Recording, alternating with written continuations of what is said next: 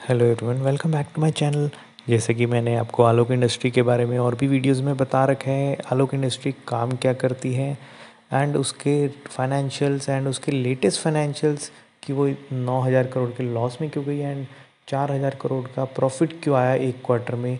उन सब के रीजंस मैंने पुरानी वीडियोस में बता रखे हैं। फिर भी एक बार दोबारा रिपीट करके बता देता हूँ, आलोक इंडस्ट्री टेक्सटाइल से रिलेटेड इंडस्ट्री है। एंड उसको एनसीएलटी से बेसिकली बैंक में जाना पड़ा था एंड रिलायंस ने उसे बैंक से निकाला है।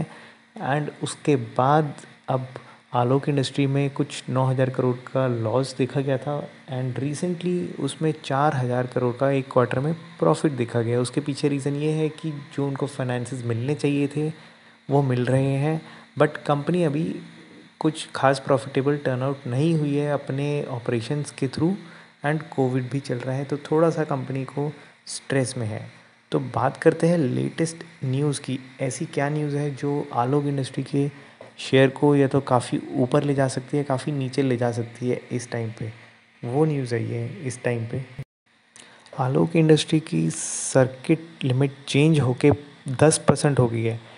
पहले पाँच परसेंट की सर्किट लिमिट थी इसका मतलब क्या है? इसका मतलब ये है कि एक दिन में पहले आलोक इंडस्ट्री सिर्फ़ पाँच परसेंट या तो ऊपर जा सकता था या नीचे गिर सकता था।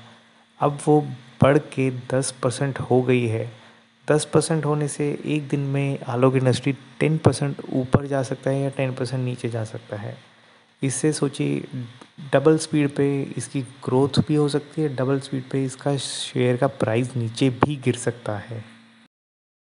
और जैसा कि हमने देखा है, कितनी बार आलोक इंडस्ट्री में कभी अपर सर्किट लगते रहते हैं, कभी लोअर सर्किट लगते रहते हैं तो ये सर्किट लिमिट बढ़ने से मेरे को ऐसा लगता है कि इन्वेस्टर थोड़े से रिस्क में ज़्यादा आ जाएँगे। अगर अपर सर्किट लगते रहा तो तो अच्छी बात है, लेकिन अगर कोई लोअर सर्किट लगते रहा तो इन्वेस्टर्स के लिए थोड़ा सा नुकसान हो सकता है। बट ओवर एंड ओवर ये चेंजेस सही हैं, अच्छे हैं तो इस वीडियो के लिए इतना ही। बेसिकली आलोक इंडस्ट्री के सर्किट लिमिट के चेंजेस के बारे में बताना था। That's all for this video bye